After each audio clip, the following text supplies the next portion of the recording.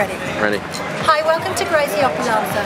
The reason why I've chosen these gorgeous ladies is they represent something that is why I launched the blog in the first place. Last three days, I keep saying, where are your glasses from? Where are your glasses from? I go into a shop, and this is what I do. I look at these glasses, and I'm like, awesome. And I convert them to normal prescription. So I've got them. I did it about a year and a half ago. I had to take them off by the third day the paparazzi and everyone was continually running after me. It's a really simple message. See these? Dark lens out, put a prescription in, even if you don't need a prescription, put a clear lens.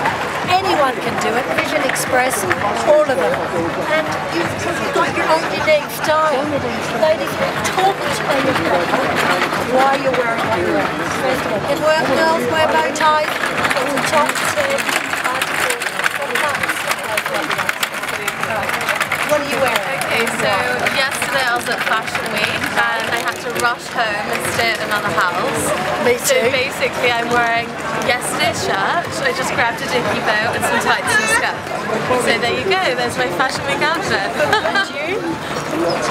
well, well, yesterday it wasn't very cold, so today it wouldn't be. Now I'm freezing, but Where's your jacket from? Armani. Oh, Armani. Brilliant.